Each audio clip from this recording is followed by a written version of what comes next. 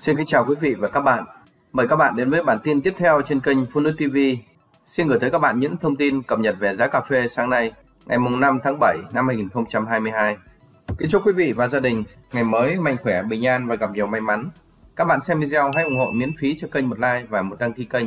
Xin cảm ơn các bạn rất nhiều. Thưa các bạn, giá cà phê hôm nay ngày 5 tháng 7 giảm nhẹ trên sàn London.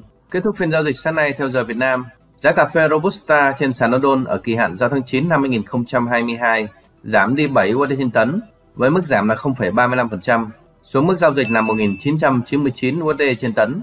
Trong khi đó ở kỳ hạn giao tháng 11 năm 2022, giá cà phê giảm đi 5 USD trên tấn với mức giảm là 0,25% xuống giao dịch ở mức là 2.001 USD trên tấn.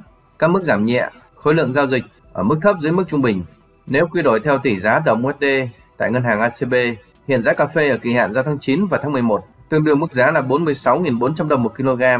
Còn tại sàn New York ở Mỹ, trong phiên vừa qua đóng cửa nghỉ lễ và không giao dịch, chốt phiên giao dịch cuối tuần qua, giá cà phê Arabica ở kỳ hạn giao tháng 9 hiện đang đứng ở mức 224,65 cent trên bao.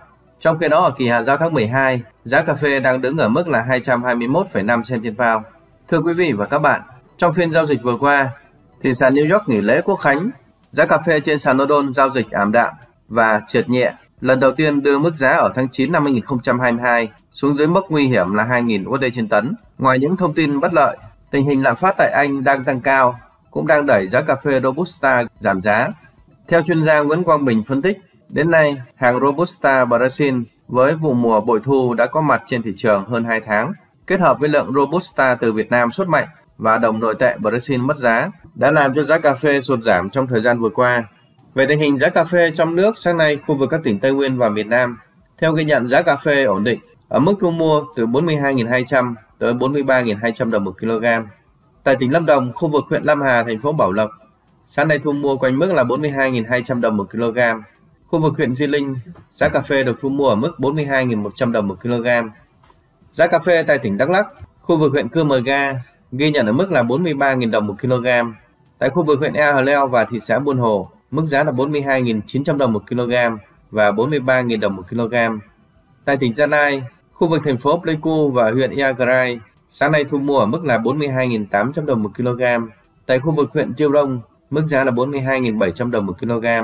Giá cà phê tại tỉnh Đắk Nông ổn định ở mức 42.900 đồng một kg tại thành phố Gia Nghĩa.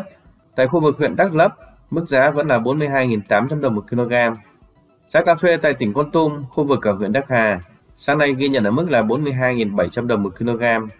Tại tỉnh Đồng Nai, giá cà phê được thu mua ổn định ở mức 43.000 đồng một kg và tại tỉnh Bình Dương, mức giá là 43.200 đồng một kg.